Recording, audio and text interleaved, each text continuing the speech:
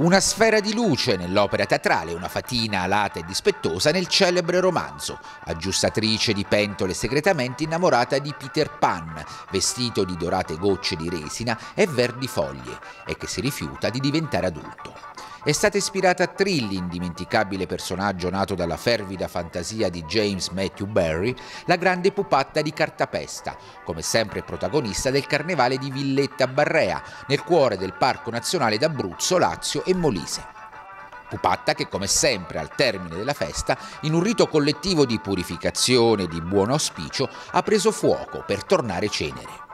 Una tradizione, quello della pupatta, che ha alle sue spalle oltre un secolo di storia, emigrata anche assieme ai villettesi in cerca di fortuna oltreoceano, dove infatti una grande pupatta di cartapesta sfila da anni nel corteo del Columbus Day di Pittsburgh